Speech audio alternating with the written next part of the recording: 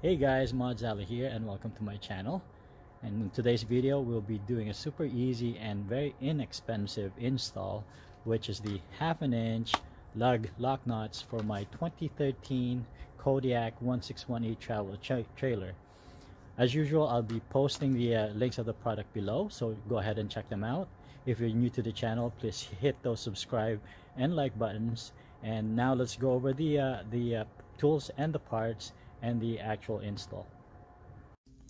So as I mentioned, this is a very basic and simple install. And these are the tools that we'll be needing. We need a 19 millimeter socket. We need our impact gun and our uh, torque wrench. And again, the part is uh, from running gear and uh, the link of the product is posted below so we'll go ahead and remove one of the uh, nuts there and proceed with the install so the set comes with a corresponding key which perfectly matches our lock right here again never tighten this using your impact gun always uh, hand tight them and use your torque wrench to make sure that it's properly torqued to the right specs.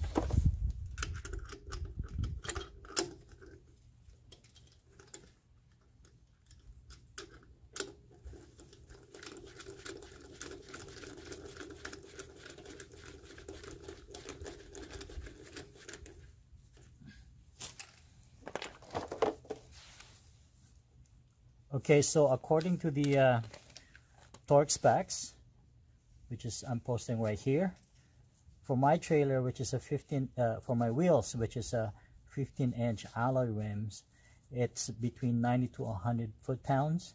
So make sure to follow the guidelines and use the proper proper specs for yours, whether it's a 15 inch, 17 or whatever size it is, or whether it's steel or alloy just to make sure you're not da damaging damaging any of the threads.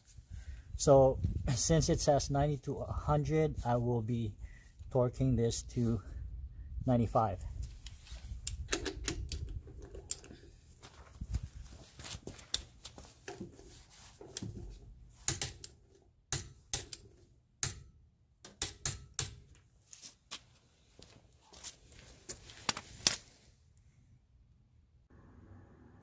So that's pretty much it. I'm gonna go ahead and finish the other side and that should complete our install for today. If you like this video and it was helpful to you, please hit those like and subscribe buttons. And until next time. For now, remember, if you can be anything, be kind.